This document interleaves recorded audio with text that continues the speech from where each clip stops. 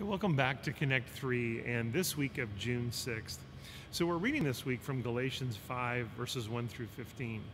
Let me ask you a question. Have you ever done an impression of someone? You've, you kind of imitated them? Maybe you do their voice or you do their mannerisms, or if you've ever seen kids imitate their parents or their teachers, it can be funny. But there's a saying that goes imitation is the sincerest form of flattery. Now, the reading this week starts out with this challenge to imitate God in everything you do. And I know initially when we read that, we think, I can't be God. And you're absolutely right.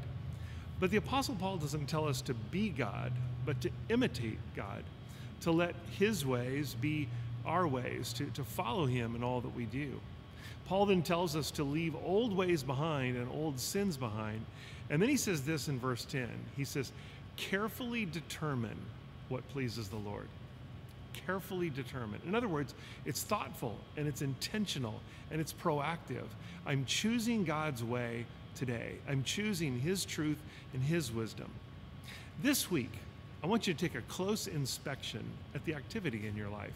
And are there things you need to turn over to God and to rely on His strength and His transformation and His power? So I want to challenge you go deep this week.